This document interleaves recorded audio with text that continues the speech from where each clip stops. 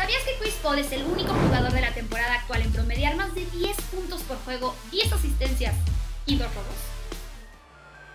Así es, estamos de regreso con las tarjetas de la semana y les recordamos que se suscriban al canal de YouTube de la NBA México porque hay muchísimo contenido y por supuesto aquí las tarjetas con Andy Sola y yo, Diego Alfaro. Muy bien, mi Diego, pues estamos entonces listísimos. ¿Por qué? Porque esta primera tarjeta es consistencia.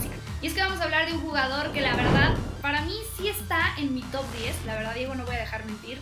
Eh, porque es de esos jugadores que siento que tocan un equipo y lo hacen mejor. Crispo.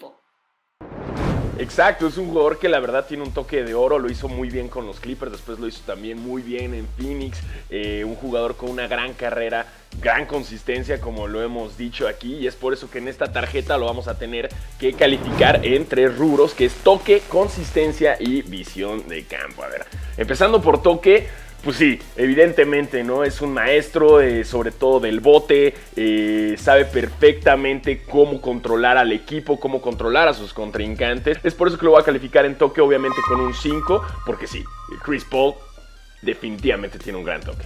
En cuanto a consistencia, vamos a castigarlo. Sí, es muy consistente, es un jugador que, que, sin duda alguna está lográndolo en cuanto a asistencias. Todavía le queda un largo camino para cumplir los números de asistencias que tiene Stockton, pero bueno, ahí va, ahí va, todavía le quedan varias temporadas, pero no tiene un campeonato. Y ahí es donde le voy a quitar un poco de la consistencia y lo voy a dejar en 4, lo voy a dejar en 4, no, no lo voy a castigar tanto, pero pues si le hace falta un campeonato, ¿no? Y en visión de campo definitivamente también es un 5, ¿no? Si algo tiene Chris Paul, sabe perfecto los pases, eh, eh sabe increíblemente armar los alley-oops, que es algo que, le fascina a Chris Paul. Y, sin duda alguna, creo que si sigue así su carrera, puede llegar a ser. Digo, los números de asistencias de John Stockton eh, son legendarios. Digo, está difícil. Eh, John Stockton es el Will Chamberlain de las asistencias, pero ahí va, ahí va.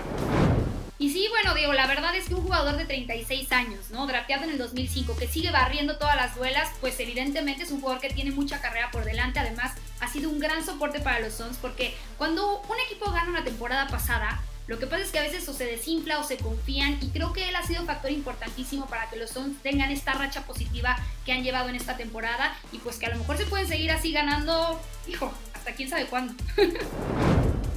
Exacto, esos Suns van con todo. No dudo que esta temporada también lo hagan muy bien en los playoffs. Ya veremos, ojalá y se le hace su campeonato a CP3. A ver, vamos a ver si es cierto. Sigan las redes sociales de la NBA México para tener mucha más información y nosotros nos vemos en la siguiente tarjeta.